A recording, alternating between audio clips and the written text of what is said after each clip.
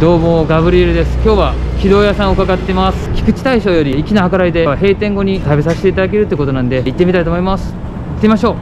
GO!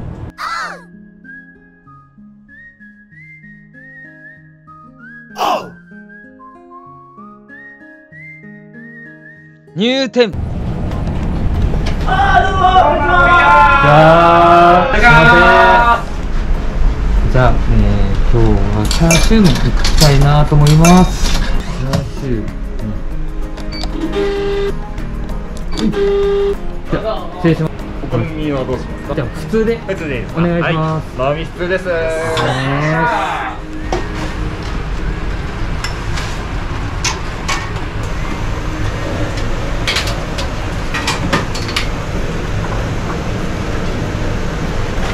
はい、よっしゃはい、よしますはい、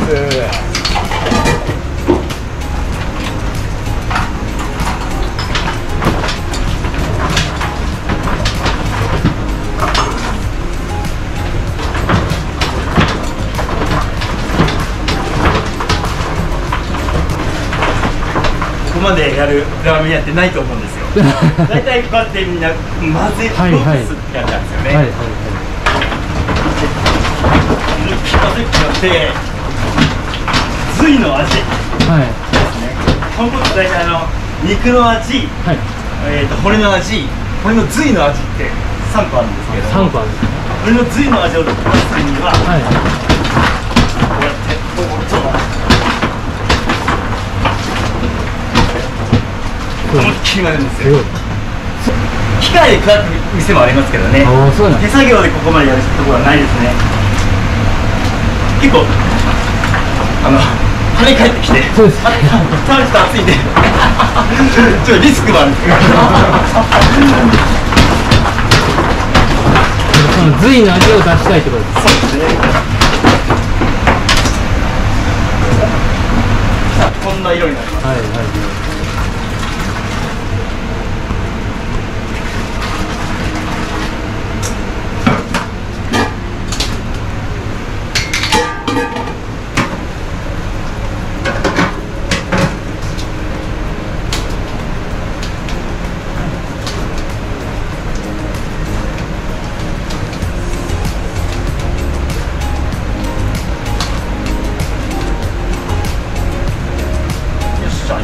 いお願いしますお願いします。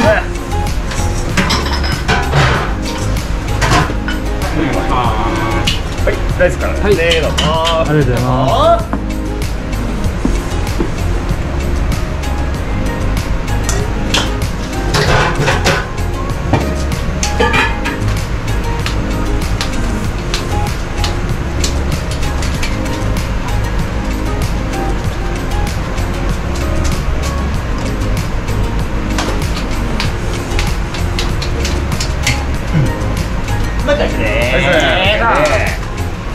麺揚げのコツとかあるんですか？麺が跳ねるようにですね。はい。この平皿使ってるのがかっこいいなって思いますよね。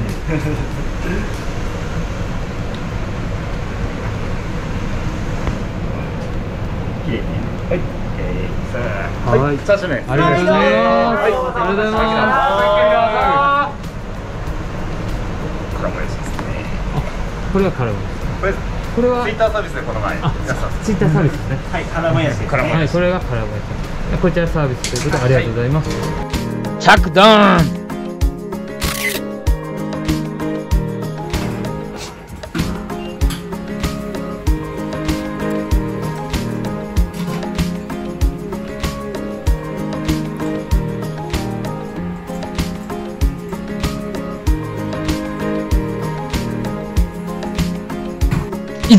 実食。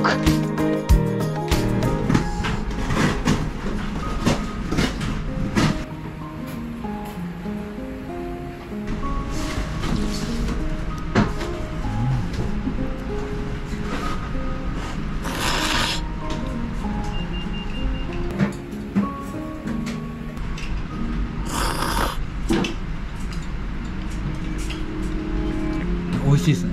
ありがとうございます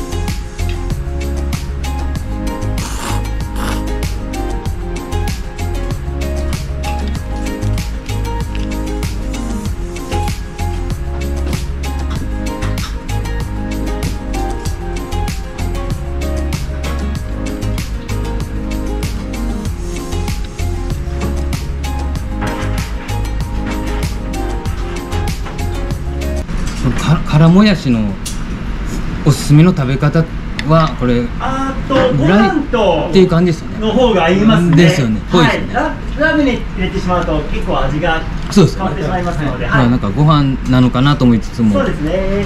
結構辛いですよ。あ辛いんです食べてください。うん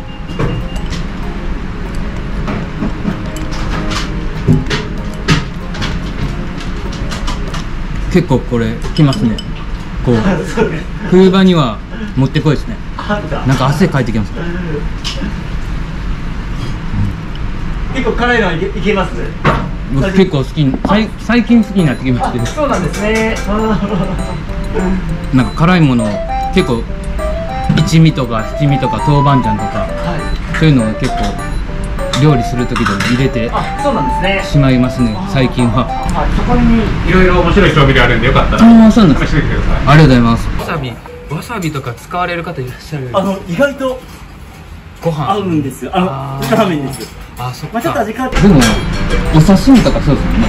要は醤油につけて、はい。わさびと醤油わさび醤油でご飯まあ刺身ですけど、はい。まあ醤油ってかそうですね。醤油がしっかり際立ってるラーメンなんで、はい。それなんかわからんことがない気がするします、はい。意外なあれですけど。まあ、ただちょっとレンゲで一気に混ぜるんじゃなくてレンゲで作って、はい。少しずつちょっとなんていうんですか試してみると失敗しないかなそういうことです。わさびを使ってみます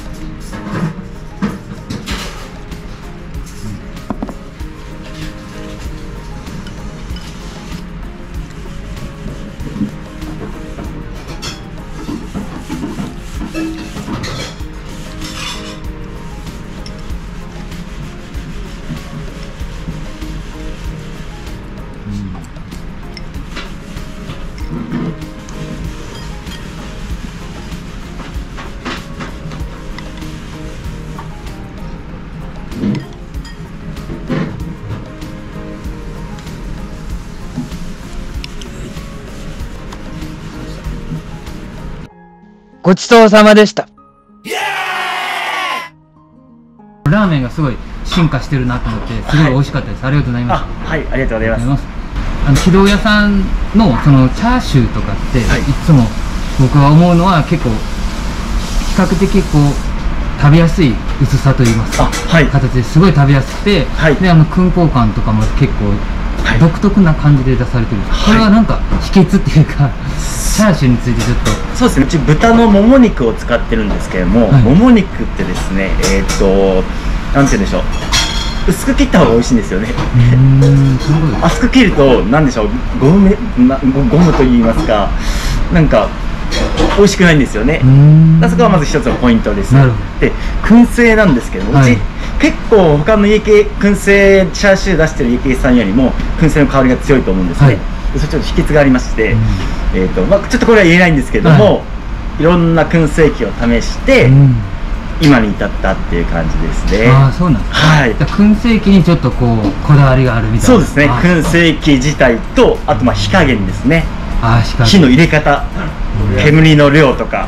あーいっぱいあるんですね、、はい。そうなんですよねそれ何回もこう試行錯誤されてこう見つけられた？そうですね。例えばその大戸屋さんのちょっとこうレクチャーしてもらったのとかありますけど、はい。なんかその辺も含め全部含めてそうですね。基本的なことはあの大戸屋さんから教わったんですけどもあそこからまあじ自分でアレンジして、なるほど。微調整微調整繰り返してって感じですね。じゃあこれからもこう変わっていくかもみたいなこともあるんですか？そうですね。はい。なるほど。はい。ありがとうございます、まあ、チャーシュー本当美味しいんで皆さんにもぜひチャーシュー麺食べていただきたいなと思います、そうなんですよ。であのチャーシュー麺おすすめしてるんですよ、ん。あのっていうのはやはりその燻製の香りがスープにうん。つくのでそうですね。でまた全然違った味わいになるんですよね。なるほど。はい。ただあのやっぱちょっと値段は張ってしまうので、あまりこっちからあのおすすめとかはしないんですけれどもぜひ一度お試ししていただいたいただけたらと思います。いや食べる価値はもう絶対ある あると思うんで、はい。はい、ぜひ頼んでいただきたいですよね。はい。木戸屋さんのあのまあちょっと PR と言いますか、まあ、スープに関しては、まあ、醤油に関しても、まあラーメンとして、あのー今もう僕もう今家系入ってもう20年経つんですね。うん、はい、でどの仕事ににもいると思うんですけどもキャリアイコール技術能力じゃないと思うんですよ、なので僕も別に自分の今のラーメンまあ好きですけれどももちろん誇りを持ってやってますけども今まだままだ完璧完成はしてないのであなのでこれからも日々、まあ、スタッフと共に試行錯誤してもっと美味しいラーメンを作っていきたいと思います。ありがとうございます。はい。今日いらっしゃる10円の方にちょっとお話を伺ってみたいなと思います。自己紹介お願いします。えっとコナチって言います。小夏さん、はい。なんかこのお店に従業員として働かれるまでに、はい。なんかエピソードがあったみたいで。軌道屋にオープンの時からちょくちょく通わせていただいていて、はい。大将のもとでラーメンを学びたいなと思って大将の方にご連絡をして働かしてくださいというご連絡をして働かせていただくことになりました。それはいつ頃と言いますか？何年前の話ですか？去年のもう年末ぐらいにあ。ご連絡をして。結構最近で。そうですねあはい。そうなんですね。じゃあもうこれもう今は日々勉強中みたいな。そうですね頑張ってます。はい。じゃあもうぜひあの軌道屋の顔というふうになっていただきたいですよね、頑張ります。ありがとうございます、はい。よろしくお願いします。えー名前は翔太と呼ばれてます。はい。あ軌道屋さんに、えー入られたきっかけみたいな。きっかけっかけは。意気込みみたいなの聞いていただきたい。きっかけで言えば、大将とちょっと昔のところで、あの、よくしてもらってて、はあそうだ。い。そんでちょっと大将のもとで、あの、俺も頑張りたいなと思って、はい。大将が日本一取りたいって言ってるんで、俺もそれに頑張って参戦しなきゃなと思って。こう家系そうですね。ちょっと。てっぺんをそうですね。目指したいという感じ。まだ今ずっと怒られてばっかなんですけど。もうでも。厳しいですね。頑張ろうと思って。頑張ってます。なんかこう輝いて見えるのであのお客さん目線でもこう応援したくなるあ本当ですか？なってきました。はい。ありがとうございます。頑張ってください。はい頑張ります。ありがとうございます。ありがとうございます